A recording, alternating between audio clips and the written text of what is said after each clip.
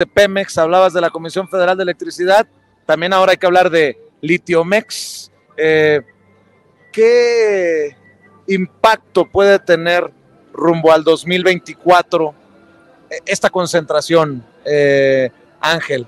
Si acaso, o sea, que el pueblo se, active y reclame nuevamente las calles o en este caso nuevamente su zócalo el presidente ha insistido en eso, que no hay que dejarle eh, a, los, a los otros las calles y, nuestro cuadro más importante, que es el representativo de las luchas más importantes de, del pueblo. Eh, ¿qué, ¿Tiene algún significado rumbo al 2024?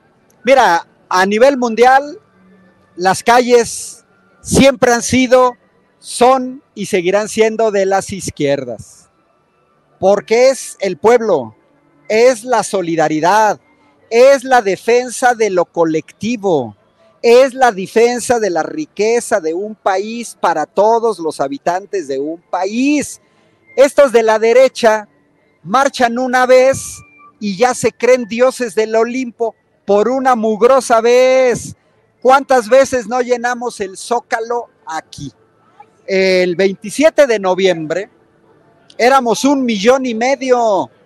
Estos porque salen 300 mil, ya se creen como acá. Yo mandé a Europa videos y fotos de la movilización del 27 de noviembre, se les caía la baba y otra cosa que estaban sorprendidos. ¿Por qué está marchando la izquierda mexicana si están en el gobierno? Pues porque estábamos defendiendo a nuestro gobierno y porque estamos defendiendo la política pública de nuestro gobierno. Además, algo, algo muy interesante, se ganó el gobierno, pero no necesariamente se ha ganado el poder. Bueno, es claro, tenemos un sistema financiero entregado a bancos extranjeros y esa es una gran limitante.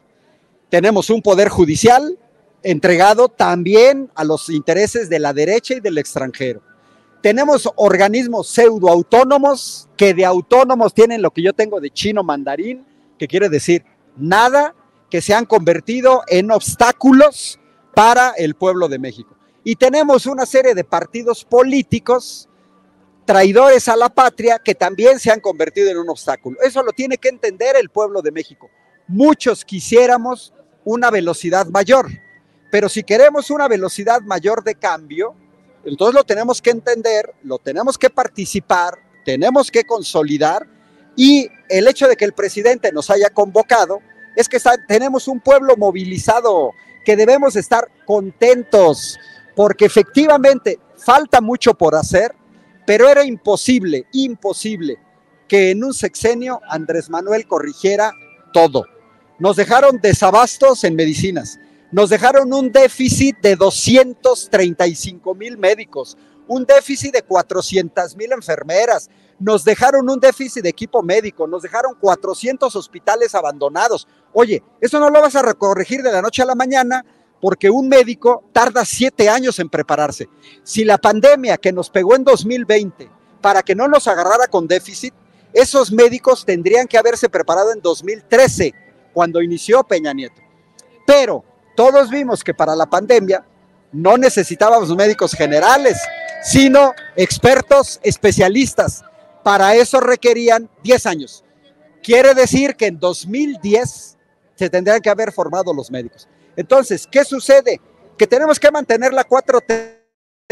Andrés Manuel, yo lo veo, a él le tocó enderezar un árbol, poner los cimientos de la construcción de un nuevo país, que requiere de la politización y de la participación del pueblo de México. No basta un hombre, no basta que las cosas caigan de arriba. Tiene que ser de arriba abajo y de abajo hacia arriba. Pues me da mucho gusto, Ángel. La verdad, eh, yo estoy emocionado, siempre emocionado, eh, Ángel, de que, de que puedas compartir este análisis con la audiencia. Yo no sé qué plan tengas, yo no sé si tengas que asistir a algún evento, alguna eh, reunión, pero aquí ojalá que podamos eh, seguir compartiendo. Ya te has dado cuenta que la, la gente lo aprecia. Pues mira, yo ando moviéndome por varias partes del país, voy a estar ahorita, voy a, voy a Coahuila, eh, justamente a hablar de cuestiones de energía a finales de mes, a finales de abril voy a estar en Tabasco, eh, a veces me invitan universidades, a veces me invita gente de Morena, a veces me invitan foros organizados por distintos este, personajes. Y bueno, yo creo que parte del papel de la gente que nos formamos en universidades públicas es regresarle a nuestro pueblo lo que ellos nos entregaron. Porque, oye, yo prácticamente no pagué nada por estudiar ingeniería. A mí me da vergüenza, y lo tengo que decir, gente que se forma en la UNAM y después desde las facultades de derecho, etcétera, litigan en contra de un gobierno nacionalista. Porque ellos en la UNAM pagaron 20 pesos por estudiar en la UNAM, porque el pueblo de México los subsidió para que fueran hoy médicos, abogados, ingenieros. No es posible que se pongan a defender a intereses privados. Yo les diría, a ver, muy bien, estudiaste en la UNAM y defiendes a la derecha, vete a Estados Unidos para que veas que en cuatro años vas a terminar con una deuda de dos millones de pesos. Órale, papacito, sé congruente. ¿Te interesa tanto lo privado? Lánzate a Estados Unidos, vete a pagar al TEC de Monterrey un millón de pesos al año. Órale, yo creo que los que nos formamos en universidades públicas tenemos la obligación moral y ética de a nuestro pueblo. Y entonces yo utilizo lo que me formó en matemáticas, en ingeniería, en computación, pues se lo tengo que regresar al pueblo de México. Y en esas andamos. Y no nos paga el gobierno. Lo hacemos en nuestros ratos libres. ¿Tenemos que sacrificar a la familia? Sí. ¿La salud? Sí. ¿Nos tenemos que mover? Sí.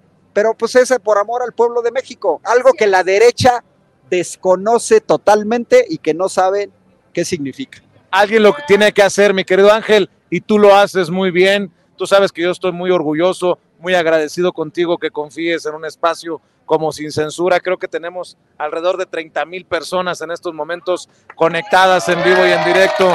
Y, eso habla de, la, del interés que existe. Y, bueno, pues aquí estamos. No sé si tengas tiempo de, quedarte un rato más con nosotros mientras, eh, mientras eh, saludamos a más compañeros, pero tú sabes que esta es tu casa, esta es tu familia. Por aquí andamos, porque entre otras cosas, yo siempre he dicho, si hay que barrer, se barre, si hay que cocinar, cocina, si hay que atender las camas, tiene las camas, entonces yo vengo con un contingente de Querétaro que estamos organizando 60 camiones que venimos y ahorita nos vamos a concentrar aquí en Bellas Artes, pero por aquí vamos a andar, Vicente, porque para eso venimos. Y bueno, yo te agradezco, ahora en público, con 30 mil gentes, la invitación que me hiciste a Sin Censura, este, hace casi dos años que empezamos a colaborar y pues vamos a seguir colaborando, Vicente. Muchas felicidades y gracias a, medios como Sin Censura, ahí vamos a seguir dando la pelea. Mis redes sociales, Ángel Valderas, me encuentran en Twitter, me encuentran en YouTube, me encuentran en Facebook. Te agradezco, Ángel. Un abrazo, un abrazote. Muchas gracias. Ahí estamos, claro que sí. El querido Ángel Valderas Puga hablando con nosotros sin censura. Gracias, muchas gracias.